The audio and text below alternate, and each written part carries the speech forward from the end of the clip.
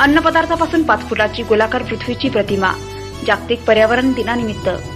जागतिक तापमान वाढ आणि हवामान बदलाचे अत्यंत महत्त्वपूर्ण आणि गंभीर विषय लक्षात घेऊन युनिव्हर्सल बार्बेक्यू या रेस्टॉरंटने पृथ्वीची गोलाकार प्रतिमा अन्नपदार्थाद्वारे बनवली.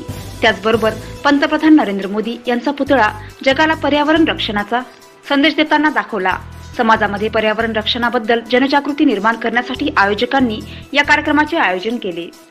यावेळी पत्रकारांसोबत बोलताना श्री हेमंत भानुशाली जे रेस्टॉरंटचे व्यवस्थापक आहेत ते म्हणाले की सध्या जागतिक तापमान वाढ हा जगाला भेडसावणारा अत्यंत गंभीर विषय आहे. म्हणूनच जनतेमध्ये पर्यावरण रक्षणाबद्दल जनजागृती निर्माण करणे गरजेचे झाले आहे. हवामान बदल आणि दिवसेंदिवस वाढणारे तापमान हे मानवी जीवनाला घातक बनले आहे. आपण सर्वांनी पर्यावरणाची रक्षा न केल्यामुळे पर्यावरणावर हा दुष्परिणाम होत आहे.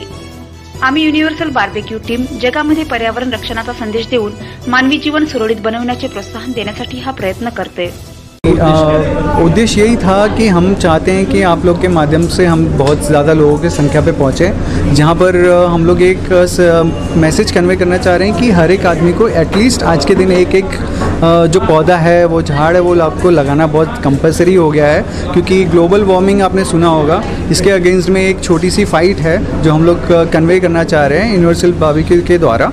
और इसमें यह है कि सबसे रिक्वेस्ट है कि एटलीस्ट एक झाड़ लगाएँ ही लगाएँ, क्योंकि अगर आप संख्या देखोगे अदर कंट्रीज़ अदर कॉन्टिनेंट्स के साथ अपने इंडिया के अंदर तो उसमें जो पर हेड एक झाड़ का जो काउंट है, जो संख्या है पर हेड की, वो बहुत कम है अगर कंपेयर करोगे तो दूसरों के द्वारा। जैसे आप ग्लोब देख रहे हो ग्लोब के अंदर जहाँ पर ग्रीनरी है, वहाँ पर हम लोग ने मूंग यूज़ किया, करके बनाया हुआ है। जहाँ पर डेजर्ट एरिया पूरा ग्लोब पे है तो वहाँ पर गेहूँ लगाया हुआ है। तो वो जहाँ पर डेजर्ट एरिया है, जो गेहूँ ज़्यादा है, अपने इंडिया के अंदर वो बहुत ज़्यादा है। तो ये टेम्परेचर बढ़ने का कारण भी वही है ग्लोबल वार्मिंग सब, आजकल सबको मालूम है ग्लोबल वार्मिंग क्या है। बट उसके अगेंस्ट में कोई फाइट नहीं ले रहा कोई एक्शन नहीं लिया जा रहा है। तो जस्ट एक यू नो बुश करने के लिए, थोड़ा सा पुश करने के लिए एक थोड़ा सा हम लोग ने एक आपके माध्यम के द्वारा एक रखा हुआ है।